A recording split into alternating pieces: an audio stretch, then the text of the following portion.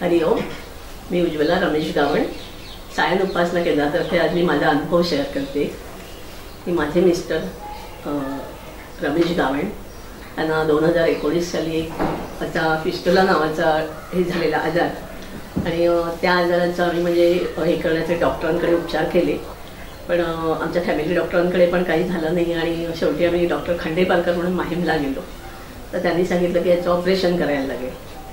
तर माझ्या मिस्टरांना थोडं टेन्शन आलं की आता ऑपरेशन म्हटलं की कधी पहिल्यांदाच म्हटलं की खूप टेन्शनमध्ये त्यांनी सांगितलं नको मी या डॉक्टरांकडे नाही करणार मला दादांकडे घेऊन चला तुम्ही.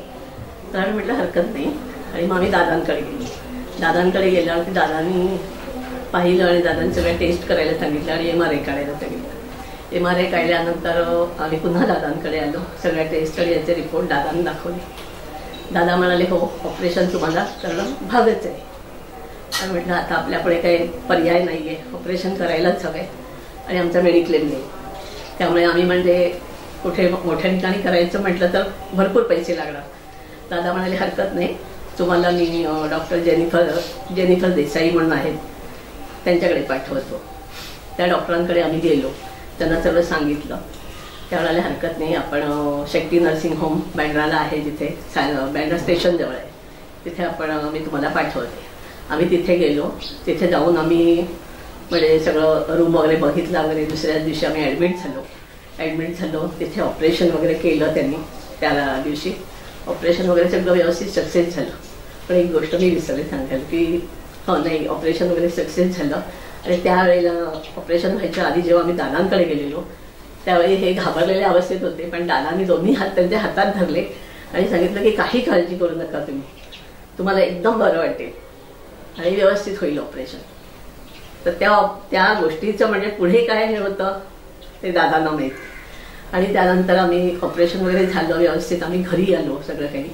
आणि आठवड्याने फॉलोअपला गेलो. फॉलोअपला गेलो व्यवस्थित फॉलोअप वगैरे झाला सगळं काही ठीक झालं. पण घरी आल्यानंतर एक दोन दिवसांनी अचानक ते टॉयलेटमध्ये गेलेलं असं त्यांना अचानक चक्कर आली संध्याकाळच्या वेळेला. आणि चक्कर येऊन ते पडले टॉयलेटमध्येच तर त्यावेळेला त्यांना म्हणजे पूर्ण ब्लिडिंग आणि मोशन दोन्ही एका वेळेला हे झाल्यामुळे त्यांना खूप हे झालं कसं बसं मी शेजाऱ्यांना ओरडून ओरडून बोलून त्यांनी म्हणजे हे केलं बाहेर काढलं त्यांना आणि आम्ही परत त्याच नर्सिंग होमला नेलो मी आमच्या फॅमिली डॉक्टरला बोलून घेतलं ना म्हटलं तुम्ही त्याच्यात त्यांना काय ते सांगा आम्ही कुठे न्यायचं तर म्हणे, नाही जिथे तुम्ही ऑपरेशन केलं तिथेच घेऊन जा आणि म्हटलं हरकत नाही तिथे घेऊन गेलो ॲडमिट केलं जवळजवळ साडे दहा वाजले साडे दहा अकरा ॲडमिट केल्यानंतर त्या नर्सिंग होममध्ये डॉक्टर तर नव्हतेच. फक्त सिस्टर आणि बाकी आया बाई ठेवल्यानंतर पुन्हा पुन्हा तोच प्रकार घडत होता की सारखं ते टॉयलेटला आणि ते ब्लिडिंग असं कंटिन्यू चालू होतं. रात्रीची वेळ असल्यामुळे आम्ही म्हटलं आता काय करू शकतो आम्ही? त्या नर्सना म्हटलं तुम्ही काहीतरी डॉक्टरांना बोलवून घ्या तुमच्या. की ज्यांनी ऑपरेशन केलं किंवा कोणी हे आहे दुसरे तुमचे कोणी असतील त्यांना बोलवा. पण त्या काही हे नाही. आणि झालं की त्या अशा जबरदस्तीने नेऊन टॉयलेटमध्ये उभ्या करायच्या. की नाही तुम्ही इथेच इथेच हे करायला पाहिजे. मला आणि माझा भाचा होता मला खूप टेन्शन आलं. म्हटलं काय करणार? अशी संपूर्ण रात्र जाता अगदी म्हणजे पहाटे पहाटेपर्यंत ते ब्लिडिंग चालूच पडे ते पाहून पाहून आम्हालाच कसं तरी झालं. आणि त्यावेळेला शेवटी मी त्यांना म्हटलं त्या सिस्टरला म्हटलं तुम्ही झोपायला आता जाऊ नका. मला तुम्ही एकदा त्या डॉक्टरांशी कॉन्टॅक्ट करून द्या. की मी त्यांना सांगते की तुम्ही आत्ताच्या आत्ता या म्हणून. पेशंटसाठी कारण पेशंटची आमच्या कंडिशन खूप क्रिटिकल झाली. तर शेवटी त्यांनी बोलवून घेतलं. बोलवून घेतलं असं करता करता पहाटे ते म्हणाले की ते जे जखम होती त्या याची ऑपरेशनची जी जखम असते ती खूप मोठी होते मोठ्या प्रमाणात. ते सगळं करताना म्हणजे ते आम्ही पाहत होतो आणि आम्हाला ते असं सहन नव्हतं की एवढं म्हणजे माणसाने किती सहन पण माझे मिस्टर होते ना ते म्हणजे इतकं की ते ही बापू कृपाच आहे की जे ते सहन करत होते आणि आम्ही ते पाहत होतो ना तर आम आम्हाला पण कुठून बळ आलेलं माहिती नाही.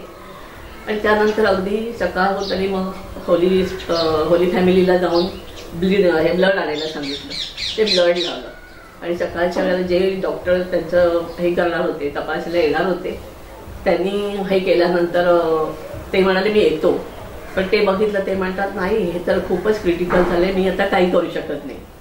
काही करू शकत नाही? म्हटलं आम्ही म्हटलं बापरे आता काय करणार? आम्ही ताबडतोब डिसिजन घेतलं की नाही आपण यांना इथून हलवायचं. मी माझ्या या सगळ्या रिलेटिव्हना बोलवलं. आणि आम्ही तसंच पंधरा मिनिटात आम्ही माझी एक रिलेटिव्ह आहे रहेजा हॉस्पिटलला तिला कळवलं असंच आम्ही पेशंट माझ्या भाचा म्हणाला हरकत नाही आपण तिथे जाऊया.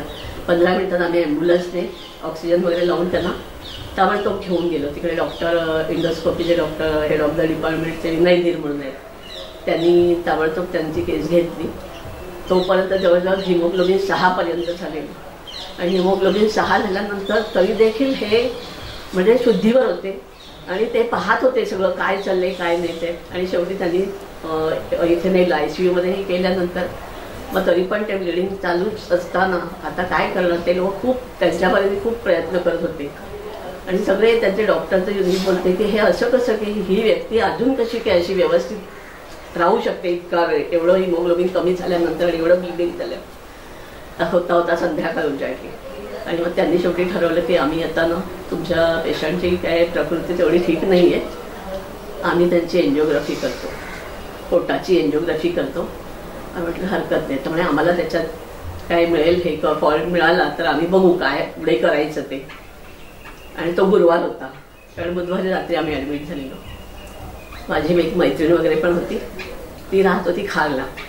संध्याकाळ वेळी ती म्हणते मला ना आता घरी जायला पाहिजे. आम्ही सगळेजण बसलेलो. आम्ही म्हटलं आता बापूंवर सोपवले. परमेश्वर काय करायचं ते करेल. आता बघू पुढे काय होईल. आणि ती म्हणाली चालेल मी घरी निघते. आणि ती गेली आणि आम्हाला त्यांनी सांगितलं तुम्ही इथे बाहेर बसा. आम्ही बघतो काय होते ते. आणि एन्जिओग्राफी चालू होती. त्यांनी सांगितलेलं आम्हाला जर आम्हाला असा डाऊट आहे की पोटातली एखादी नस ओपन झाल्यामुळे पण एवढा फ्लो येतोय ब्लिडिंगचा तर ते त्यांनी सांगितलं पण आम्हाला ती मिळेल पण पण कधीतरी ती अशी निसटून पण जाईल. आम्ही हे करता करता एन्जिओग्राफीच्या ह्याच्यामध्ये. आणि मिळाली तर आम्ही पटकन ते कॉइलिंग करणार आणि बंद करून टाकणार. मग तो फ्लो थांबेल. आम्ही म्हटलं हरकत नाही. पण हे सगळं म्हणजे आमच्या ह्याच्यावरती असलं आणि सही वगैरे त्यांनी घेतलेली आमची.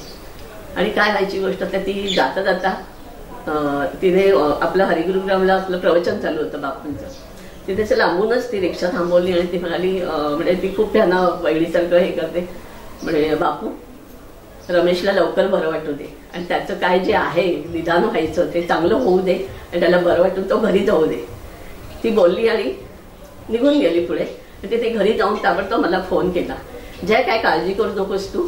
मी बापूंना बोललेली आहे. जाता जाता मला तिथे प्रवचन चालू होतं ते मला कळलेलं आहे. तर म्हणे मी सांगितले. आणि काय व्हायची गोष्ट तिचा मी फोन ठेवला. आणि तेवढ्याच आमची जी रिलेटिव्ह होती ती त्या ऑपरेशन थिएटरमध्ये होती हे सगळं चाललेलं असताना. ती बाहेर आली आणि तिने मला असं केलं पटकन. म्हटलं काय? काळजी करू नका. ती नस मिळाली त्यांना कॉलिंग करायला. आणि हा इतका मोठा म्हणजे हे कारण आम्ही बाहेर बापूंच्या जॉब चालू होता आमचा. आणि ते झाल्यानंतर त्यांनी ते हे करून टाकलं ती नस बंद केली तो फ्लो थांबवला. आणि त्यानंतर पण त्यांनी आय सी यूमध्ये ठेवून दिलेले त्यांना दोन चार दिवस काढले. काहीच नाही.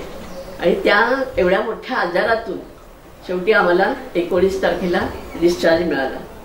डिस्चार्ज मिळाला आणि जवळजवळ एक महिन्याने आम्ही म्हणजे इतका लॉस झालेला सगळा फिजिकली एक महिन्याने आम्ही दादांकडे गेलो. मिलिंदला सांगितलेलं मिलिंदला म्हटलं मिलिंद मला मी येते यांना घेऊन. पण म्हटलं मला थोडं लवकर पाठव बस एवढंच आहे कारण हे बसू शकत नाही. मला म्हणे हरकत नाही. आम्ही तसेच गेलो दादांना भेटलो पहिला मॅडमना भेटलो पडेलकर म्हणून आपल्या विनम पडेलकरांना. त्यांना भेटलो त्यांना सांगितले म्हणाले अरे बापरे तुम्ही मला सांगत होता तर मला खूप हे झालं. पण पुढे काही तुमचं नंतर कळलं नाही. मी म्हटलं नाही हो, खूप सिरियस कंडिशन झाली. म्हणे आम्ही दादांकडे गेलो. दादा म्हणाले अगदी हे केलं दादाने. तुम्हाला बापूंनी वाचवलं आज. या सगळ्या ह्याच्यातून म्हणजे तुम्ही बापूंमुळे वाचलेत. काही हरकत नाही याच्या पुढेही तुम्हाला खूप बरं वाटेल म्हणजे असं. आणि जर का म्हणजे आता पुढे नंतर त्यांनी बोलवलेलं डॉक्टरांनी पण ते घाबरल्यामुळे ते पुढे गेले नाही. आम्ही दादांना सांगितलं दादा हे खूप हे करतात. घाबरतात. म्हणजे जायला पुन्हा काही इंडोस्कोपी वगैरे करायची होते. दादा म्हणाले काही हरकत नाही आहे पण आता तुम्हाला एकदम व्यवस्थित बरं वाटेल. तर आता हे सगळं म्हणजे हा अनुभव असा होता माझा की म्हणजे त्या पिरियडमध्ये मी इतर वेळेला कोणाला काही झालं की मला असं खूप वाईट वाटतं आणि खूप असं रडू वगैरे येतं की घरात असं कोणाला काही झालं. पण त्या पिरियडमध्ये मला असं हा सिरियसनेस सिरियसनेस म्हणजे जाणवलंच नाही अजिबात म्हणजे बापूने तर जाणवून नाही दिला. की मी जर खचली असते आणि मी जर त्या क्षणी मला जर काही करू शकली नसती मी तर बाकी डिसिजन घेणं खूप कठीण गेलं असतं. पण हे सगळं माझ्या बापूंनी सगळं घडवून आणलं हे सगळं व्यवस्थितरित्या आणि आज ते इतके सुखरूप आहेत आणि व्यवस्थित आहेत. आणि येणाऱ्या आमच्या प्रत्येक गोष्टीला आणि प्रत्येक संकटाला बापूंची साथ आहे. कधीही आम्हाला म्हणजे बापूंनी टाकलेलं नाही. काय बोलणार? बापू म्हणजे बापूच आहे खरंच. आपण म्हणतो ना अनिरुद्धा तुझा मी किती ऋणी झालो एवढंच मी बोलू शकते. हरिओम श्रीराम अंबंदे